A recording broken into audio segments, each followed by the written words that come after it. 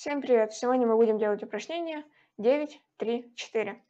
Давайте начнем. Для этого скачиваем наш PK-файлик, как обычно, и открываем его. Он будет открываться несколько секунд. Если у вас будет окно, где будет спрашивать логин и пароль, вводим логин и пароль для токада и выполняем наше задание. А мы ждем, пока он откроется.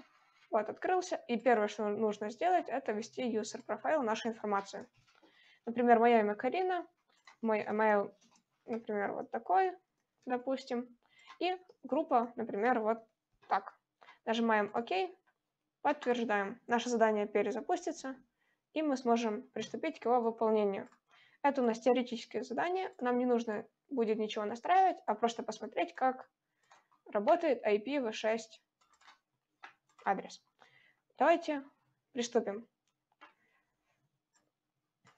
И, и в первой части мы получим MAC-адрес и, и посмотрим, что и как работает.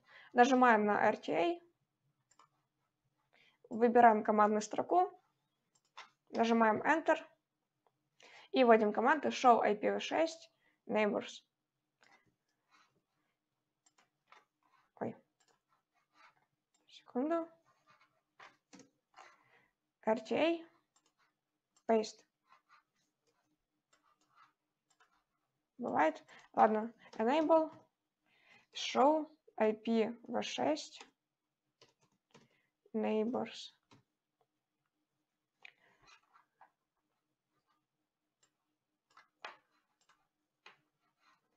А, и как вы можете видеть, у нас ничего не выводится. А, так что давайте введем команду clear IPv6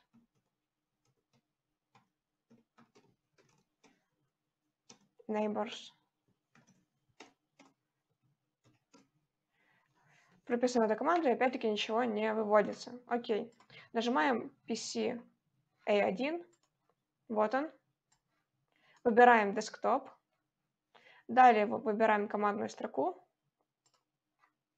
Окей. Теперь заходим в режим симуляции. Он находится в левом, ой, в правом нижнем углу. Выбрали режим симуляции. Смотрим, что нужно сделать дальше. А, нажимаем кнопку Show All None, чтобы у нас не было ни одних, а, ну, чтобы у нас пока что не было ничего выбрано. Окей. Далее. С командной строки устройства PCA, вот она, нам нужно пропинковать на, на вот этот вот адрес. Давайте его скопируем и вставим.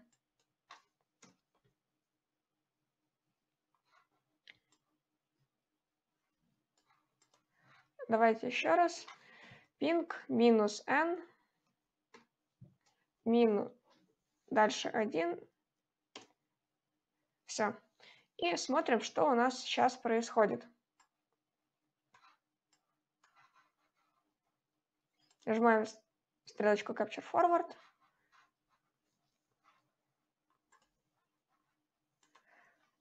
И мы видим, что мы получили вывод пинга, что один отправлен, один получен и ничего не утеряно. Давайте попингуем еще раз.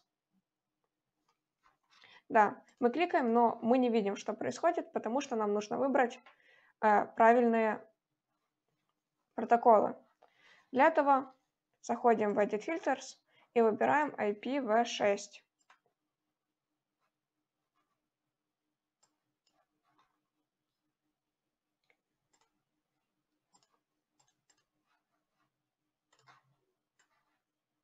Мы видим, что у нас появился пакет. Давайте прокликаем кнопочку Capture Forward и посмотрим, что будет происходить с этим пакетом. Он отправится, отправится к устройству PCA и вернется обратно. И так произойдет 4 раза, пока мы не получим все пинги. Вот. Что у нас дальше? А, давайте э, теперь выберем ICMP-V6 и NDP. И посмотрим на эти пакеты. Опять-таки Edit Filters. ICMP-V6 у меня уже есть. Выбираю NDP. Вот так. Закрываю. У нас наши фильтры обновились. Смотрим, что нам нужно сделать дальше. Нам нужно выбрать пакет формата SCMP-V6. Давайте возьмем вот этот. И вам нужно будет внимательно исследовать все, что написано вот здесь, прокликать вот эти вот поля и ответить на вопросы, которые вот тут вот представлены. Вот первая SMP, V6 и так дальше. Думаю, это довольно-таки просто. Тоже, точно то же самое вам нужно будет проделать с NDP. Вот наш NDP, например, вот этот вот зеленый. И точно так же посмотреть, что происходит. На NDP нужно смотреть в тот момент, когда он будет на устройстве PC A. Вот он. Открываем и смотрим всю необходимую информацию. Смотрим, что нам нужно сделать дальше. А, нажимаем кнопку Show All None, чтобы убрать все наши фильтры. Окей. А теперь мы открываем устройство PCA1 и пингуем на следующее устройство. Копируем, открываем PCA и пингуем. Не забываем вот тут, что если мы скопируем, то у нас черточка не копируется. Пинг минус n, 1 и 2001 TB8 SAD 2 две колонки А. Окей. Если мы поднажимаем кнопку Catcher Forward, у нас пока в event листах будет пусто, потому что мы не выбрали ни один тип пакета, но пинг у нас будет успешен, либо будет вывод, что у нас failed. Вот, открываю PC1, давайте его закреплю. Вот, у нас один пакет отправлен, один пакет получен, пинг у нас успешен. Что нас просит сделать дальше? Edit Filters и выбираем опять-таки ICMP и NDP. Edit Filters, ICMP-V6 и NDP. Закрываем, и мы сможем сразу увидеть все, что происходило во время этого пинга. Опять-таки вам нужно будет просмотреть на все вот эти пакеты, и исследовать их информацию, нажав по ним. Inbound video details, outbound video details и RSI model. Также можете кликать Next Layer и Previous Layer, где тоже будете видеть дополнительную информацию. Дальше, последний этап, нам нужно проверить э, выводы роутера. Нажимаем на RTA, выбираем командную строку,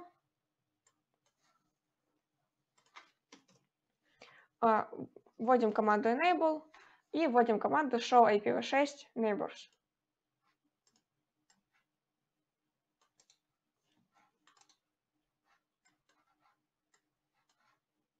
Нажимаем, ой, бывает. Давайте введем ее вручную. Show IPv6 neighbors.